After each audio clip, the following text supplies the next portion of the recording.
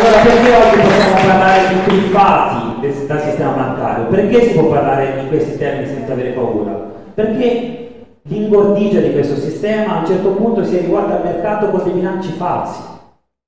E questo, caro Scaramelli, che è la verità. Non è che chi investiva nella banca, azioni, obbligazioni, era un investitore.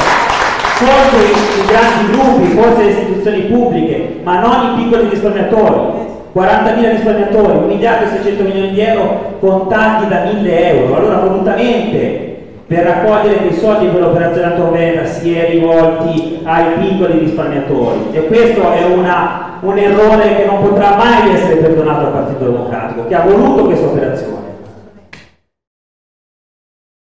Questo è il tema vero di discussione, come si tutelano diciamo, i risparmiatori di obbligazioni subordinate. C'è un gap oggettivo e c'è stato, c'è, esiste anche per chi lavora in banca, cioè chi magari legge tutti i prospetti, non tutti li leggono, tutti neanche li sanno interpretare quando sono, lavorano in banca o anche le persone semplici che hanno investito in obbligazioni subordinate. Qui c'è il vero tema di come in realtà invece il sistema dovrebbe funzionare, perché ogni cittadino, teoricamente, prima di aver acquistato queste obbligazioni ha firmato dei fogli in cui ha attestato che ha un'alta propensione al rischio, altrimenti quelle obbligazioni non avrebbe mai potute comprare.